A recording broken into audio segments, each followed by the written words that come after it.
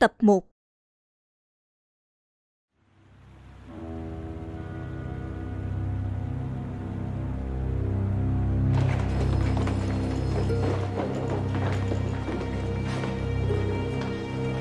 Lập tức đưa điện báo này cho tổ cáo đỏ Vâng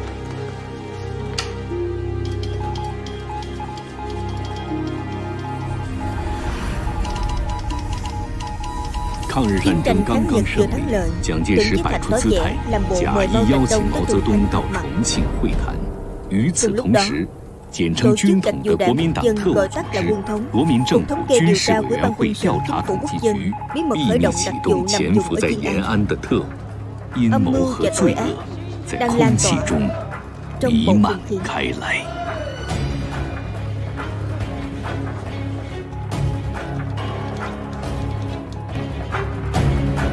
Bây giờ mau về nhà đi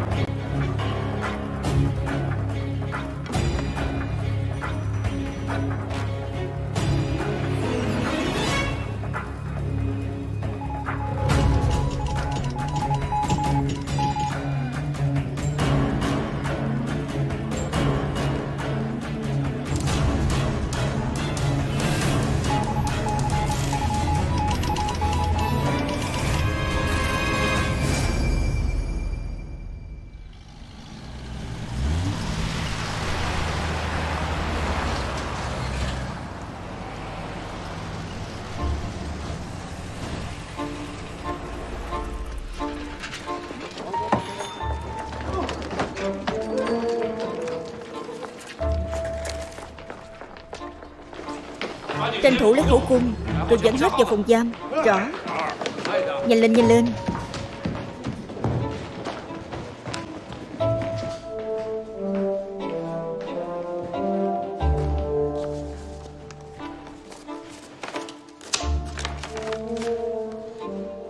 Độc đinh của định diễn tướng quân hy sinh trong kháng chiến. Dừng Ai cũng nói hổ phụ không có quyển tử Cậu nên tới đội quân tác chiến chứ Sao lại tới vâng. chỗ của tôi? Vì tình thế trên chiến trường thay đổi trong nháy mắt, không việc tình báo chính xác sẽ đem tới thời cơ cho thắng lợi, tránh được nhiều vụ đổ máu hy sinh vô ích. Còn nữa là cha tôi vì sai sót trong tình báo, cho nên mới xả thân vì nước. Được. Nếu đã như vậy thì mốt hãy tới trình diện. Rồi.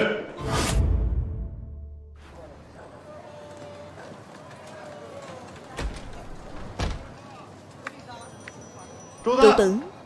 Dạ. Nào, chuyển cái nước ngọt đi. Dạ.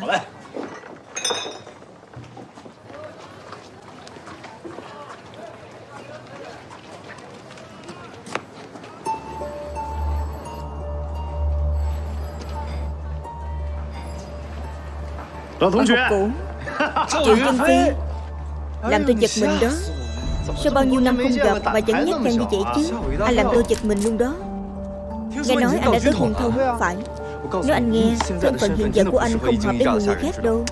Quân thống hay không cái gì chứ Cũng như anh thôi. Làm ở ban kỹ thuật. Đi đi Đi ăn với tôi. Bao nhiêu năm không gặp rồi Ra quán ăn đi Nhanh lên.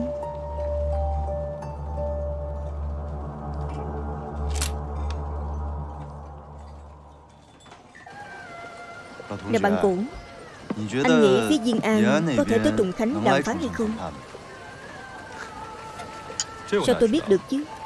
Với lại, chuyện này mình nói cũng đâu có được tính. Phải, đúng thật chúng ta nói thì không tính. Nhưng mà đường phố Trùng Khánh Ăn mừng thắng lợi Nhật Bản đầu hàng. Qua giới khắp nơi còn chưa bị gió thổi bay. Nhân dân quốc gia này thực sự không muốn và cũng không thể chìm vào chiến tranh nữa. Dân Phi, tôi thấy anh hơi say rồi đó. Mau ăn đi, ăn xong tôi đưa anh về. Tôi đâu có say. Dạo này tôi đọc nhật báo Tân Hoa của họ suốt. Tôi cũng đã xem mấy bài viết của Mao Trạch Đông. Theo tôi nghĩ, phía Chiên An sẽ cố gắng tránh kiểu chiến tranh này. Cho nên tôi nghĩ lần này Mao Trạch Đông rất có thể sẽ có khả năng tới Trùng Khánh gặp với viên tưởng tượng. Họ không bỏ qua cơ hội lịch sử này đâu. Dân Phi, uống rượu đi. Chủ đề này tới đây thôi. Sau này đừng nói với ai nữa. Không phải trước đây anh, không phải nữa. Không còn ở cái tuổi ngày xưa đó Ánh dương rực rỡ hát ca uống rượu. Nhưng lúc nắng đẹp dẫn vợ con về quê. Tôi đã lập gia đình rồi. Chỉ muốn sửa điện đài thôi. Sống một cuộc sống yên bình. Chuyện quốc gia đại sự như hai đàn. Mình đừng bàn luận bừa bãi được không? Anh làm gì vậy? Về trước đi. Tiêu Kỳ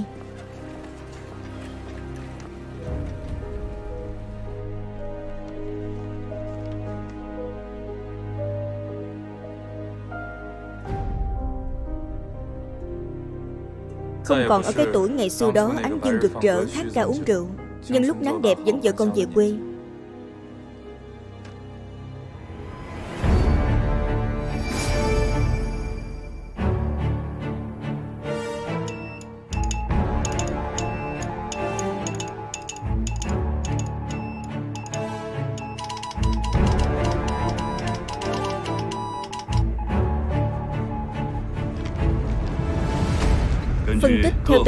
cách mặt Rất có thể Mao Trạch Đông không dám tới Trùng Khánh Xem ra Mao Trạch Đông cũng sợ chết. Mao Trạch Đông đã không dám tới Trùng Khánh Thì mình cũng không phải lo ngại gì hết. Theo chỉ thị của Tổng Tài Hai giết nhầm ba ngàn Còn hơn bỏ sót một tên. Một khi mọi người phát hiện ra đã ngầm trung cộng Thì phải hành động ngay. Giết không tha. Dân Người đi ra từ sở huấn luyện. Dùng được rồi đó Báo cáo Ở đây đều là tên anh chọn ra sau huấn luyện. Xin trưởng quan dạy dỗ Tôi không xem các người mạnh mẽ tới cỡ nào. Cũng không xem khả năng bắn súng chuẩn xác cỡ nào. Cái tôi muốn thấy Là tinh thần và ý chí chiến đấu của các người. Các người sẽ đối kháng với tử sĩ gián điệp tinh anh của đảng Cộng sản các người không có dũng khí và giác ngộ Liều chết cống hiến cho sự nghiệp vĩ đại của đảng quốc. Nghe rõ không Xin nghe lời trưởng quan dạy. Trung thành tuyệt đối với đảng quốc.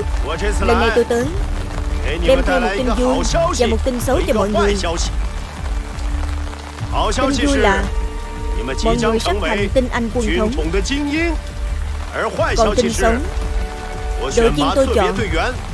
Chỉ có 5 người thôi Là 5 người chiến thắng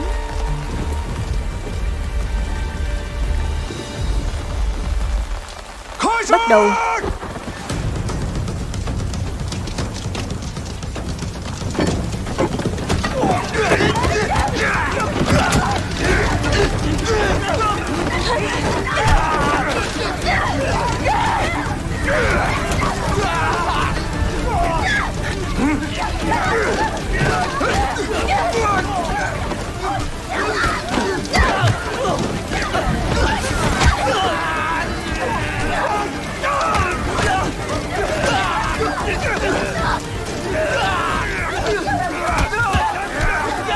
Đánh đấm của Mỹ Là từ cục tình báo chiến lược Mỹ về sao Trung quan thật là từng mắt Huấn luyện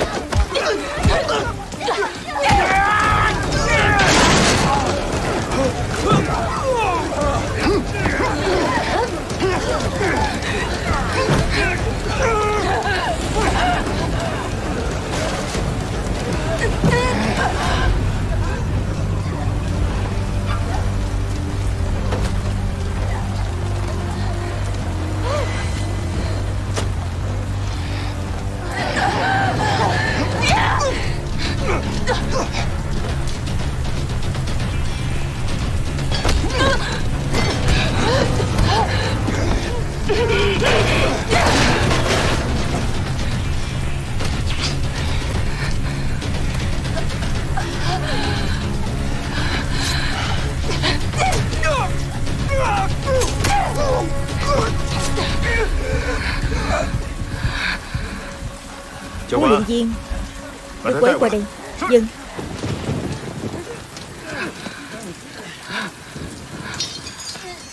Đi.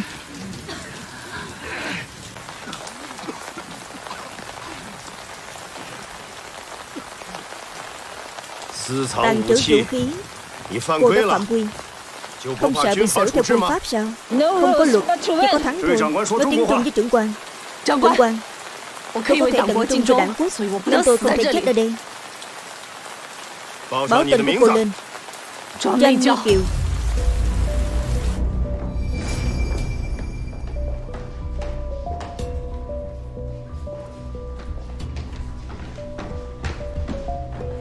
Trưởng ban trang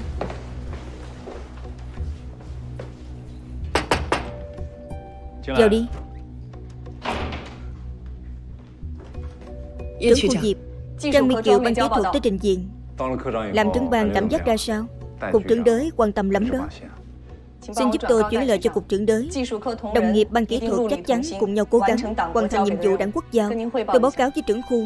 Xe trinh sát cử đi được. Hôm nay đã ra đường. Bất kể phần tử Cộng sản trốn ở góc tối nào Chỉ cần chúng gửi điện báo Chúng tôi chắc chắn sẽ dọa ra được Nên cứ yên tâm Tôi tin vào thiết bị của mình Càng tin vào đồng nghiệp ban kỹ thuật Cho tôi hỏi Tấm hình này chụp ở đây phải không? Trong thành phố có nhiều tiệm chụp ảnh Bối cảnh tương tự nhau. Nhưng tấm ảnh này không chụp ở tiệm của tôi. Cô đi hỏi chỗ khác đi. Cảm ơn ông chủ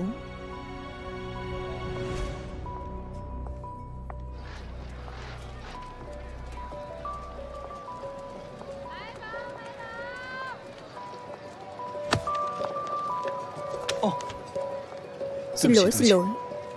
Xin lỗi nha. Tôi lo đọc báo cho nên cô không sao chứ.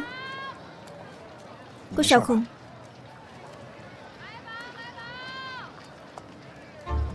Tôi xin lỗi mà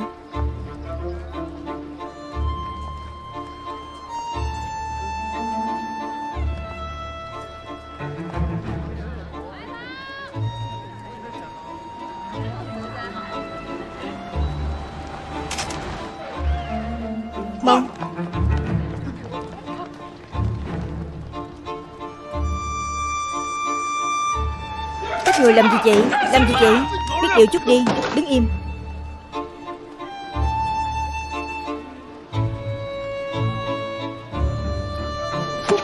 Chính nghĩa luôn thuộc về nhân dân.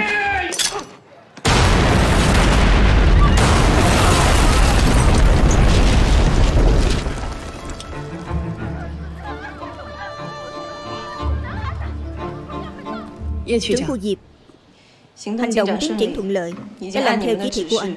Tra xét trọng điểm Hiện tất cả tiệm chụp ảnh trong thành Đều nằm trong tầm kiểm soát của chúng tôi. Xe giám sát của Mỹ đúng là tốt thiệt đó. Phát huy tác dụng mang tính quyết định. Tuy là các cậu có thương vong Nhưng mà cũng thu hoạch được nhiều hơn. Cho tướng ban chỉ huy giỏi thôi. Đội hành động chỉ bắt được và con tôm con tép vô dụng. Tiếp tục lùng sục không ngừng trong 24 giờ Dân Khắc nông. Bây giờ phương diện đặt vụ địch ở Trùng Khánh.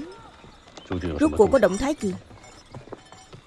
Lượng lớn nhân viên tình báo Mình mai phục ở khu vực đảng quốc dân thống trị Đã điều động rồi.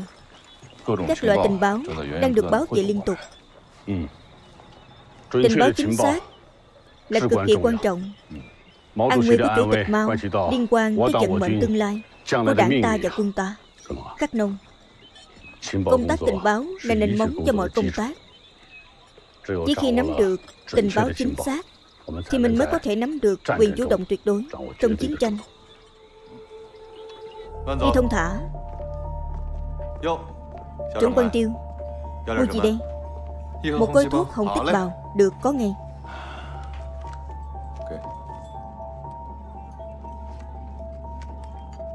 Chú Bảy nhận được tin Diên An có tổ cáo đỏ quân thống cài vào. Họ đang dò xét chủ tịch có tới Trùng Khánh hay không. Rất có thể sẽ uy hiếp Tới an toàn của thủ trưởng Trung ương. Mau thu xếp mời người nhà tới kiểm tra nhanh đi. Yên tâm đi. Nhưng cậu phải cẩn thận đó. Xe trinh sát vô tuyến của địch Vẫn đang hoạt động xuyên suốt. Hiểu rồi. Anten Mới là đối tượng giám sát trọng điểm của mình. Tất cả anten được tập hợp vượt quá tiêu chuẩn phát sóng Bắt hết về rồi tính. Rõ Đừng có tối ngày Cứ rõ như vậy. Có biết bắt tay từ đâu không? Khu ổ chuột Kiến trúc trên hai tầng. Ngoại ô ở gần đây. Đây là ba đối tượng tra xét trọng điểm. Những nơi cao nhất Có kiến trúc cao tầng trong thành Đều gắn anten của mình vào. có anten Cộng thêm trinh sát lưu động. Tôi tin điện đài vô tuyến của đảng Cộng sản Không thể tàng hình nữa. Hiểu rồi phải không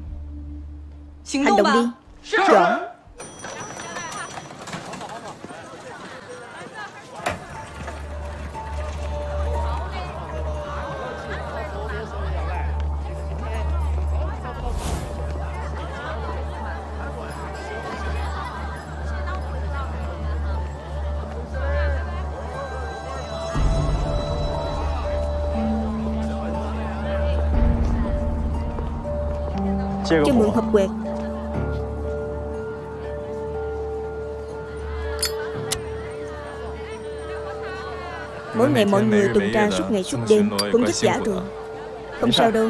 Có xe trinh sát mà. Chúng tôi làm cho có thôi.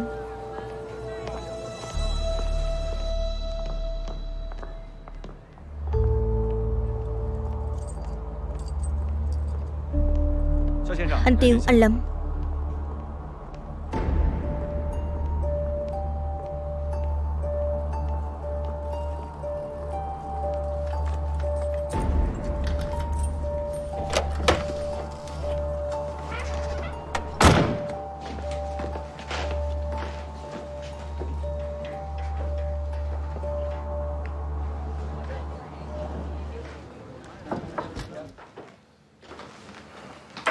Bắt đầu được rồi đó.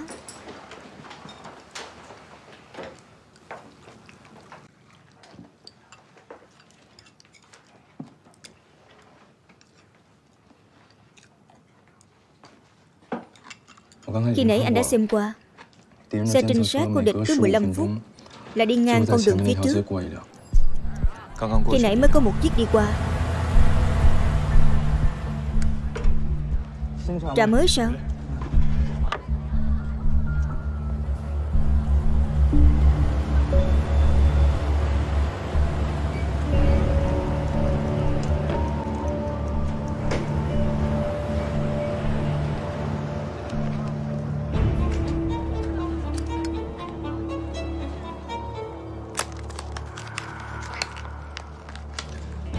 Chút nữa chỉ cần anh ra ngoài Là em đánh điện ngay.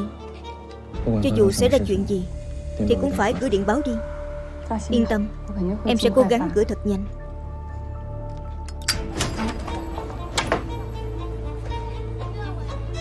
Hết xì dầu rồi Anh đi mua nha. Em biết rồi. Đi sớm về sớm đó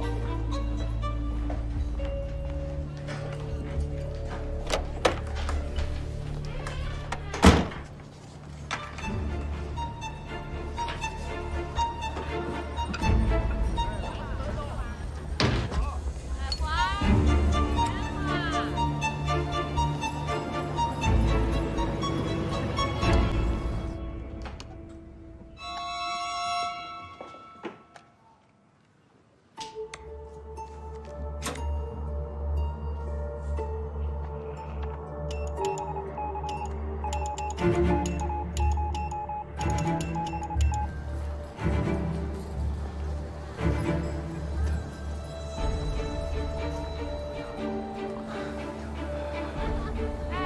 lạp xưởng đi.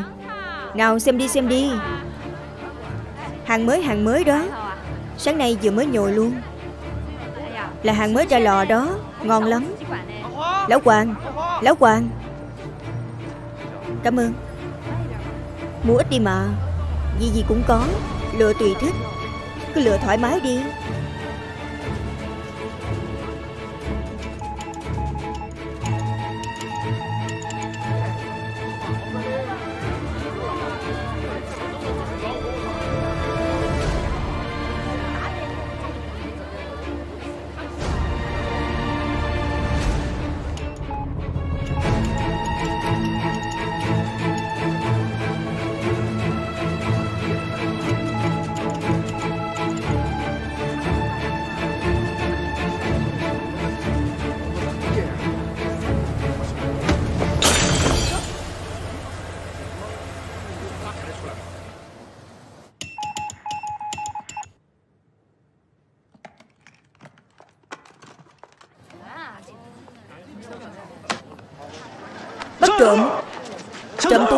Trộm túi Tôi không có trộm mà.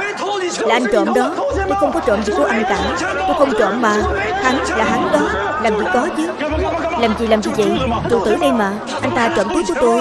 Sao lại trộm được chứ? Sao lại không thể? Trứng quan tôi cũng bên kia anh mà. Vợ tôi kêu tôi đi mua xì dầu. Bây giờ anh ta làm bể cha của tôi rồi. Tôi về biết anh nói sao đây. Nếu anh mà trộm túi của tôi Bây giờ anh có thể bắn chết tôi. Anh chối phải không Bây giờ anh có thể bắn chết tôi đi. Anh chối phải không Nè, đúng là đồ ăn trộm mà. Được rồi đừng đánh đừng đánh nữa. Tín hiệu bị ngắt? Cái gì chứ? Tín hiệu bị ngắt sao? Đúng rồi, mất hết rồi. Nếu không gặp hai người, Thì đã bắt được điện đài của Cộng sản đảng rồi. Tôi cái gì chứ?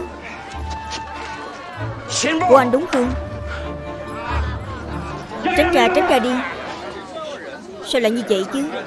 Được rồi, đi thôi. Hết chuyện rồi. Chúng ta đi.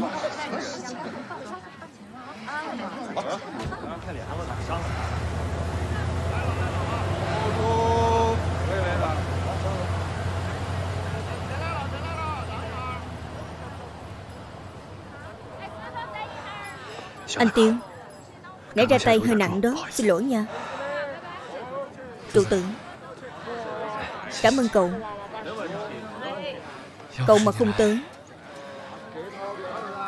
Thì tôi không biết phải làm sao. Nãy bạn học của anh tới tiệm tìm anh. Nói là tới nhà thăm anh đó. Ông chú Dương không yên tâm Nên kêu tôi qua đây.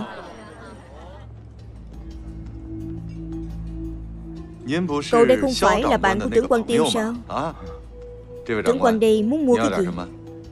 Ông chú Dương đúng không Phải. Đừng gọi tôi là trưởng quan. Tôi cũng nghe không quen. Được rồi. Vậy thì cậu hỏi gì Tôi hỏi Triệu. Vậy thì gọi là Triệu Tiên Sinh. Bình thường ngoài việc tới đây mua thuốc lá. Vậy thì Tiêu Kỳ còn có mua gì cho vợ hay không? Cậu là Tôi là bạn học cũ của anh ấy Tôi thấy anh ấy hay tới mua đồ ở chỗ của anh Cho nên muốn hỏi Vợ cô ấy thích ăn bánh hay là ăn kẹo gì đó? Anh gói cho tôi mỗi thứ một chút Để một chút nữa tôi ghé thăm nhà cô ấy Hiểu rồi Nhìn cậu là biết bạn bè có tình có nghĩa. Tốt thiệt đó. Cậu chờ một chút tôi lấy cho. Được.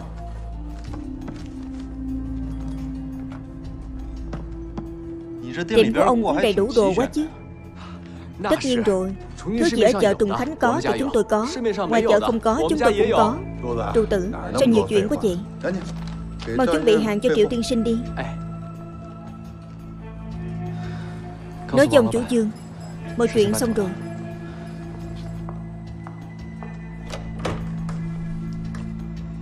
Chị nhà đúng không? Anh đây là Tôi là bạn học của Tiêu Kỳ. Tôi tên là Triệu Dân Phi Anh ấy ra ngoài rồi Một chút nữa sẽ về. Vào trong nhà uống ly trà nha. Được.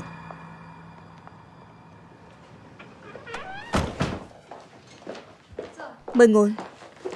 Chị à Mua cho hai người đó. Cảm ơn nha. Tới liền.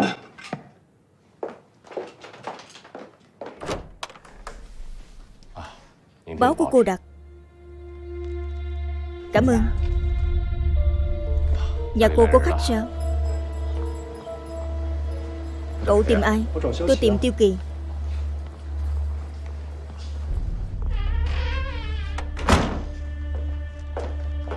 Chị à Chị quen biết người này sao? Tôi cảm thấy anh ta hơi lạ đó. Không sao Đó là lão hoàng quản lý tòa nhà này. Bình thường anh ấy là như vậy đó. Cô Tiêu về rồi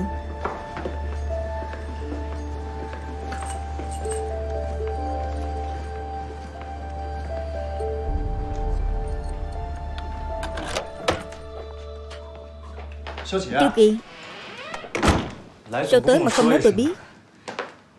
Anh bị làm sao vậy Chút nữa bị xe của quân thống đụng trúng.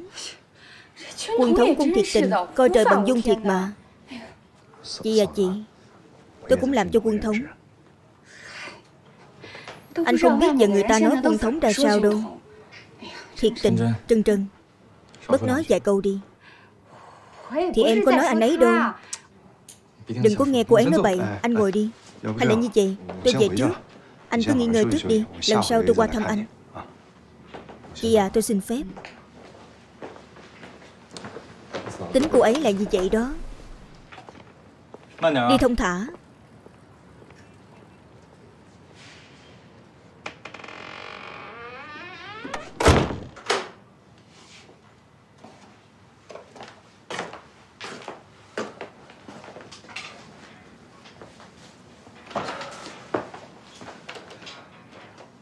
nãy làm dạ, sao vậy Khi nãy nguy hiểm lắm.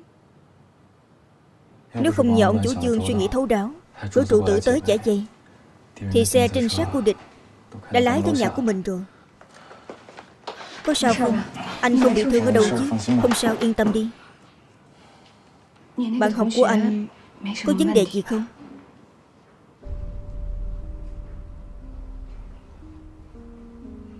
Tuy thằng nhóc triệu chân phi đó không xấu xa nhưng dù sao cũng là người của quân thống. Anh sẽ chú ý hơn. Phải cẩn thận hơn đó.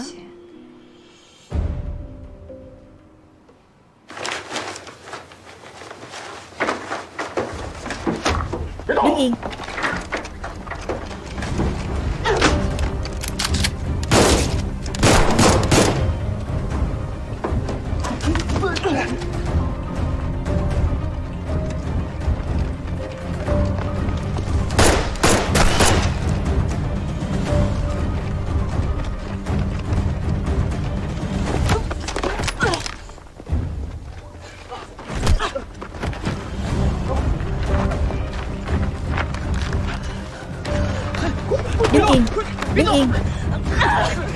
đi đi.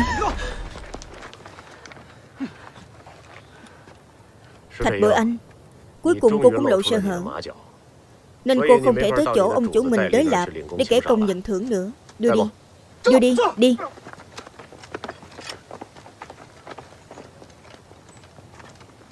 Đi.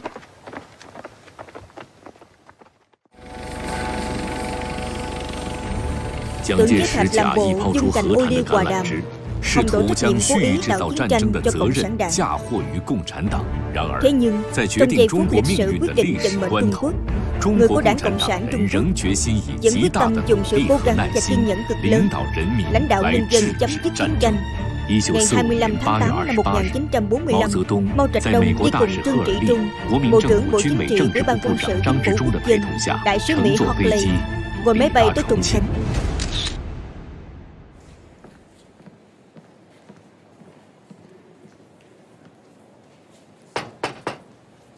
Vào đi.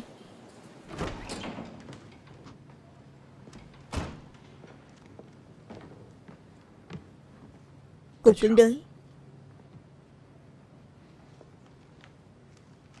Cáo đỏ gửi về tình báo sai.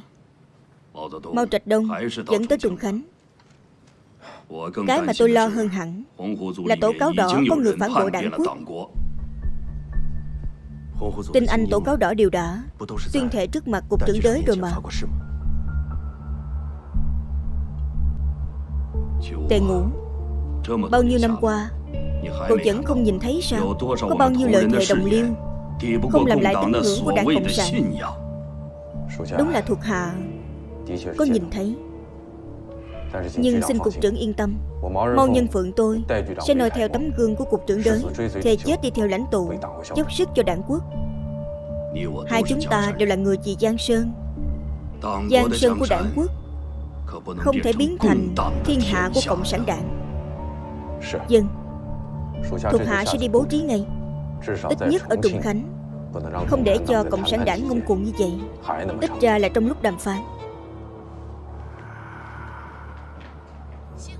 Báo Tân Hoa đăng bài của bốn độc giả nói là Mao Trạch Đông tiên sinh kiên quyết tới Trùng Khánh. Hoàn toàn nghiền nát những lời du dạ và hiểu lầm Mà chúng ta từng nghe về Cộng sản đảng Trung Quốc. Mao tiên sinh tới Trùng Khánh Chứng minh thành ý và quyết tâm của Trung Cộng, Phấn đấu cho hòa bình đoàn kết và dân chủ. Điều đó là phản ánh và thay mặt cho yêu cầu của nhân dân ta.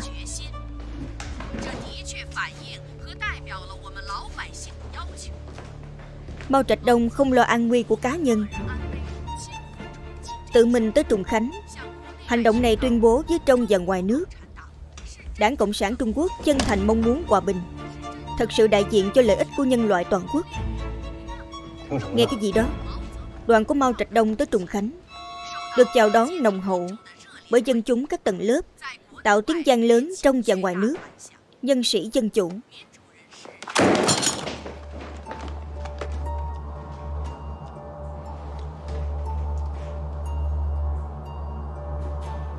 Báo cáo chủ nhiệm. Vừa rồi tôi đang tìm kiếm điện đài của địch. Phát hiện một tín hiệu lạ, Nhưng nó lúc ẩn lúc hiện, Nên tôi không ngừng mở rộng phạm vi tìm kiếm. Tìm kiếm nên mở rộng phạm vi tìm kiếm một chút. Lại đúng lúc, Tìm tới điện đài của địch phải không? Tôi thấy cậu nghe say mê lắm mà. Lúc làm việc, Là để các người trinh sát tín hiệu điện đài bí mật của Cộng sản đảng. Không lẽ lại để cậu ở đây nghe họ cảm quá hay sao? Anh nói như vậy thì hơi quá. Tôi chỉ đơn giản Chỉ là chỉnh sai kênh mà thôi.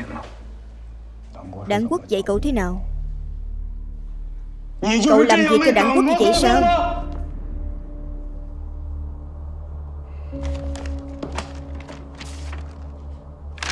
Gió Tây thổi mạnh Nhạn trời kêu không dứt Trăng tàn sương khuyết Gió ngựa trên giang Còi xe in ỏi Ải hùng núi lâu vẫn nhiều sắc. Mà nay ta tiến bước vượt qua. Núi xanh nhấp nhô tựa sóng biển Chiều tà đỏ tươi màu máu đào. Cậu viết sao? Không phải. Ai viết vậy? Không tệ đó. Cái người hôm nay mới tới Trùng Khánh viết đó. Cậu theo tôi.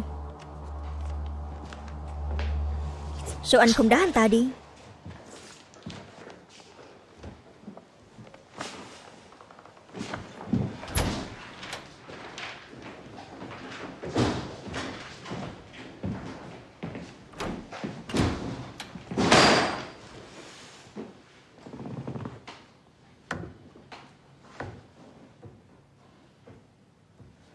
，cậu có biết hành vi của cậu nguy hiểm lắm hay không?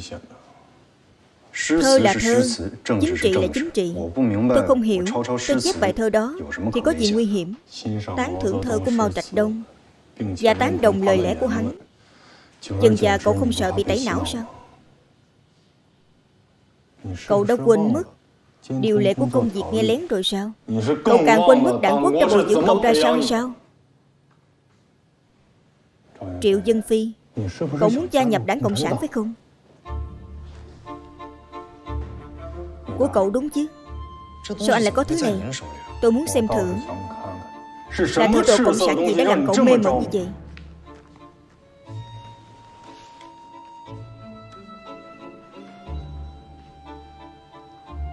Trong mọi công việc thực tế của đảng ta Phạm là lãnh đạo đúng đắn thì phải đến từ quần chúng và hướng về quần chúng. Cậu bắt đầu học chủ nghĩa Mác rồi phải không? Đây là nhận thức luận của cậu về chủ nghĩa Mác Tôi thật sự không phải phần tử Cộng sản. Tôi chỉ phân tích và nghiên cứu lý luận của họ thôi. Như vậy thì cũng sẽ nghe lén tốt hơn thôi. Trưởng ban phùng ban giám sát đúng không? Cử hai người qua chỗ tôi đi. Chỗ tôi nghi có phần tử muốn theo cộng Cần được mọi người thẩm tra Ngay bây giờ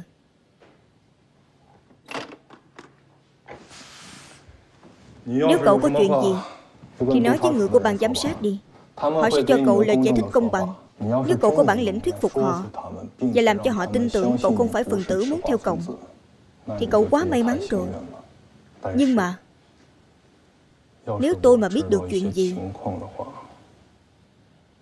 Tôi sẽ cho cậu lãnh đủ hậu quả đó Vào đi. Mời.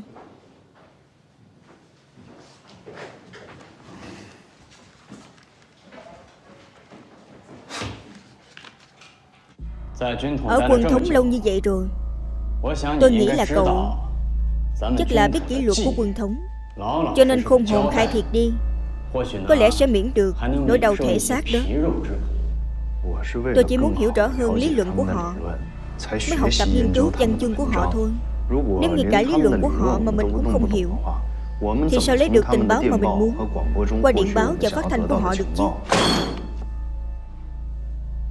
Tôi thấy không dùng cực hình Thì cậu sẽ không chịu nói thật. Dỗ cái gì chứ, dỗ cái gì? Trưởng băng phùng Dùng cực hình cái gì? Cậu nghiên cứu ngôn luận của đảng Cộng sản Là lấy được tình báo bên mình cần sao? Theo tôi thấy, Cậu không phải thỉnh thoảng mới nghe có phải không? Cậu chuyên nghe để nghiên cứu Có đúng hay không? Trưởng quan, Tôi bị ám ảnh cưỡng chế sẵn rồi, Nên có cơ hội là sẽ muốn nghe. Nghe rồi sẽ muốn phân tích kỹ. Người của đảng Cộng sản nghiên cứu về mình cặn kẽ như vậy Mình lại xem ngôn luận của họ như là lũ lụt mảnh thú Cả nghiên cứu cũng không được nghiên cứu Như vậy sao biết người biết ta Xem ra Cậu đúng là nhìn xa thiệt đó Tôi thật sự chỉ muốn làm rõ thôi Cho nên mới vô tình ghi cả đống vào dở nghe lên Hoàn toàn không có ý gì khác Tôi nghĩ chỉ cần hiểu lý luận của họ thì mới nghiên cứu họ được tốt hơn. Chỉ khi hiểu rõ về họ thì mới có thể tiến triển lớn hơn trong công tác tình báo. Từ đó nghiên cứu đặc điểm của địch là đối sách cho chúng ta.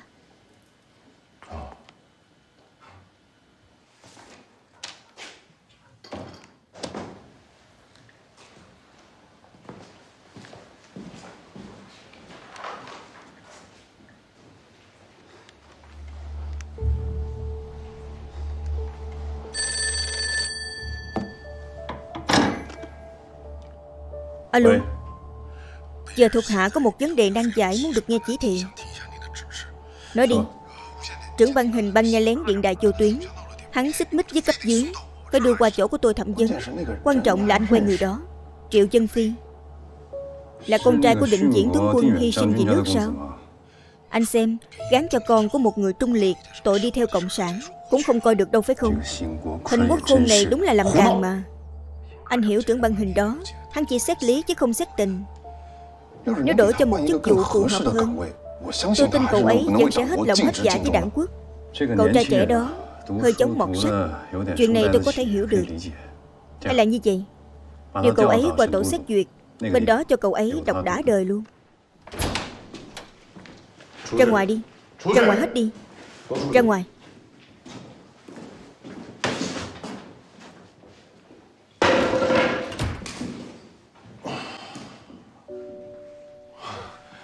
Dân Phi, Là như vậy.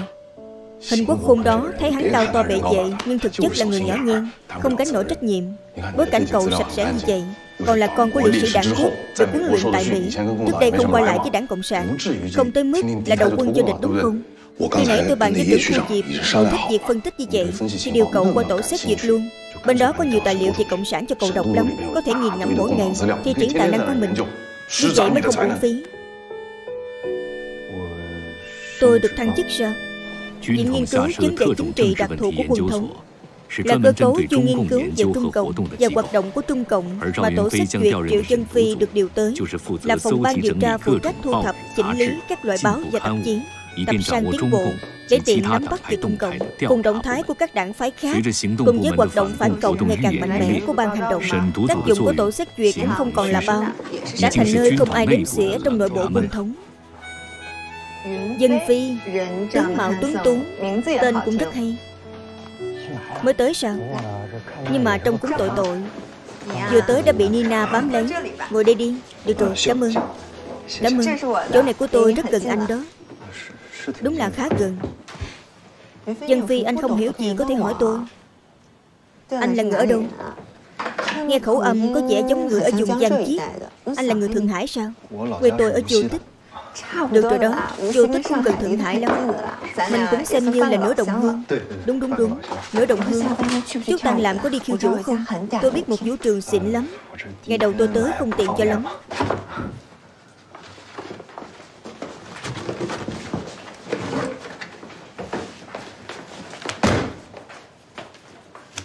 Cái này Tôi giao cho anh đó. Cái này nữa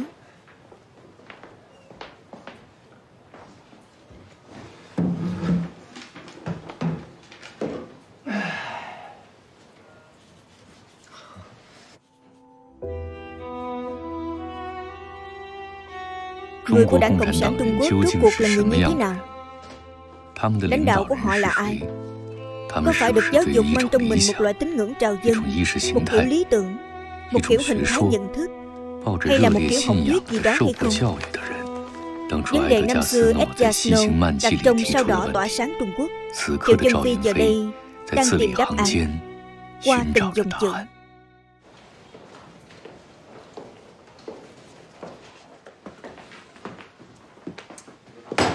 Đừng có mơ mộng nữa.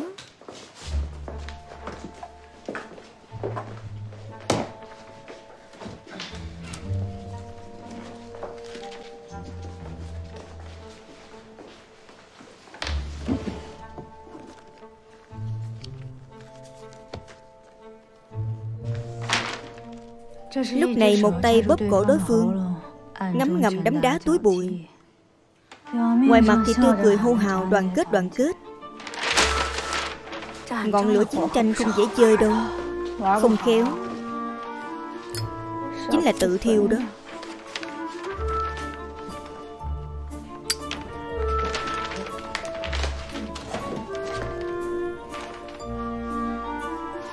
Nè cô à Cô đây là Đây là tổ trưởng tổ xét duyệt. Tổ trưởng của mình sao? Tổ trưởng Trần.